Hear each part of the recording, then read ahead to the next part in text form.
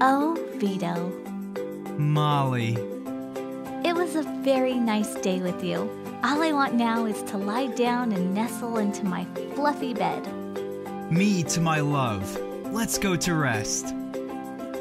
So, good night, Vito. Good night, Molly. See you tomorrow. No, no, no, no, no,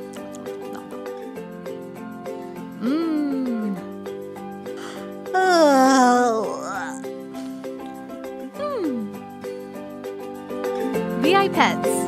Absolute relaxation for a life of ease.